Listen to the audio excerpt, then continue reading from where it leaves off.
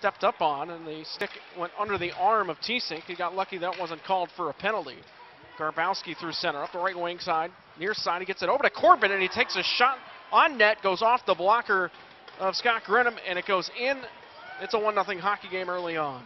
A little bit shaken up there, was able to get that out to center ice. They re enter the zone, two on one near side. Mitch Holmberg shoots, he scores. Beating Scott Greenham over the blocker with a wrist shot for the near circle. And this is quickly a 2 0 game, and both goals on the power play. Yeah, well, And Doornbosch will send it deep. And that was an awkward uh, fall down in behind the net. There's a pass far side, a chance on net, and a save made as Louick Marcotte had it to the circle. Therefore, O'Brien. Doornbosch is challenged in the deep slot as he wanted to unload a shot. They look into a 1-2-2 as they switch up top. Here's a shot there from Jamie Doornbosch. He scores! One-timer past Saunders.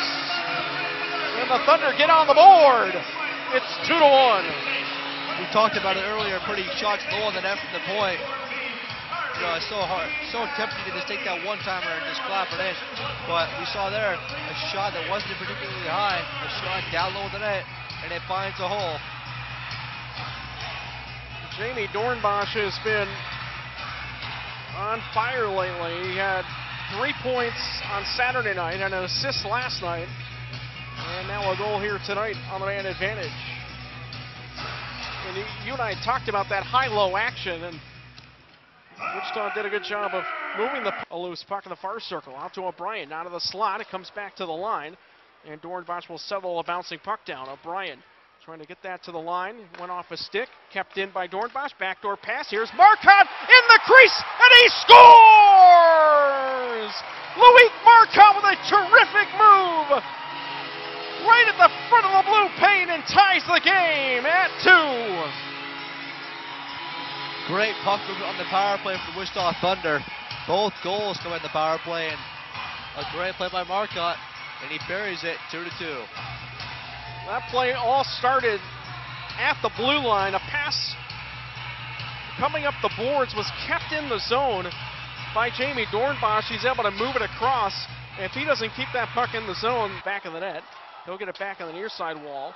Up to the blue line, Bolton, and he fanned on the shot. A foot race the other way. Coming up near side, here's Kenny Brooks trying to get around T-Sink, and that's going to go at the side of the net, and the Eagles cash in with a loose puck in the near post and score to retake the lead, three to two.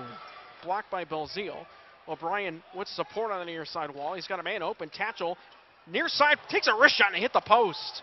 He had a wide open man coming down that far boards. That was McCoy Earkamps, but he took the shot anyways and caught the iron. Now the Eagles back the other way, a three on two near side, a shot on goal, and Belzile puts it through a sliding Scott Greenham, and the Eagles regain their two goal advantage. It's now four to two. Well, Friedmann up top, Doornbosch far circle, and he shoots. Rebound there. O'Brien, and he was robbed there by Clarke Saunders with a leg pad save. A What- terrific save. Tries to flip up the near side glass. That's kept in by Matt Register. Now to the slot. Here's a wide open chance in front, and Scott Greenham with a terrific save. On Sean St. Amand, who was.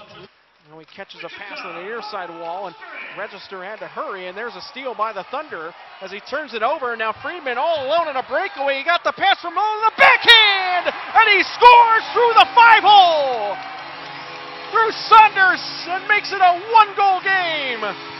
What late? He's got it in the far corner along the goal line. Good stick by Mardo. Marcotte back to O'Brien. He's got a man open near side of shot. Rupert hit the post, gets it back, and tries to play a backhand to the front of the net. In behind. A minute remaining in the third. Here's a long outlet pass that's intercepted at center. Here's Belzile, and they'll turn and fire it into the empty net, and they score. Blue line played around the net. Now Ryan Tiesink gets run into, and Wichita's Ian Lowe comes in, and now Tiesink grabbing Zimmerman by the head and puts him in a headlock. As we get our first real scuffle after a whistle in this game between these two teams. Have not seen this almost all night. With 10 seconds remaining in the third. Tiesink look on the near side. Here's Sam Jardine working to center.